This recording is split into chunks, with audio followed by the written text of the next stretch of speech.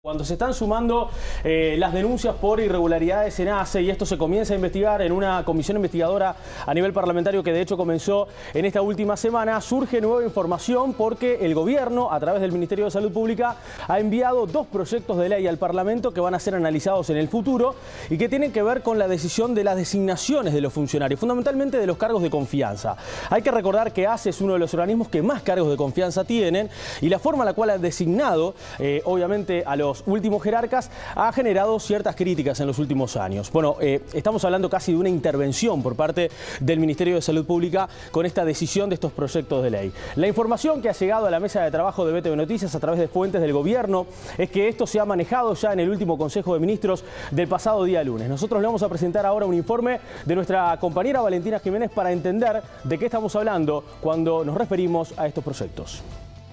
Tras la acumulación de irregularidades investigadas en los hospitales de la Administración de los Servicios de Salud del Estado, el Ministerio de Salud Pública envió al Parlamento dos proyectos de ley que cambian de forma radical la designación de directores en los hospitales públicos. Si se aprueba esta ley, en los hechos se terminará con el régimen actual de designación por confianza política vinculada a los miembros del directorio de ACE, porque entre otras cosas involucraría la academia y el ministerio en las designaciones.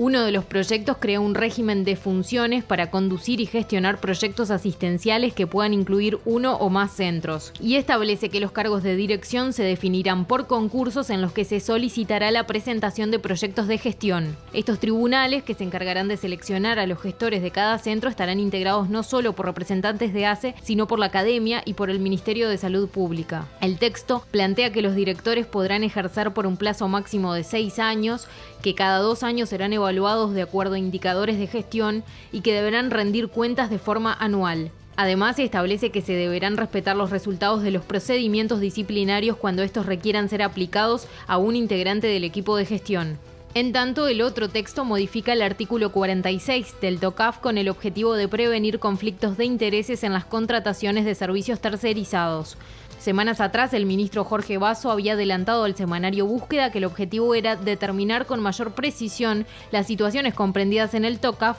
para evitar problemas. Un ejemplo de esto ocurrió en las últimas horas, cuando ACE sancionó con 91 días a la ex directora del Hospital de Dolores, Ana Falótico, por contratar un servicio de traslado especializado a una empresa de la que ella era dueña. En el pasado, diversos integrantes del oficialismo y también de la oposición han cuestionado tanto este tema como que los cargos en hospitales sean ocupados por personas con afinidad política o sindical y no por idoneidad técnica. Una fuente del oficialismo vinculada a la salud explicó a BTV Noticias que este proyecto busca terminar con las designaciones directas por amiguismo político y al mismo tiempo profesionalizar la gestión. En las últimas semanas, por ejemplo, fue removido del cargo de director del Hospital de Rivera Andrés Toriani, cuestionado en su gestión.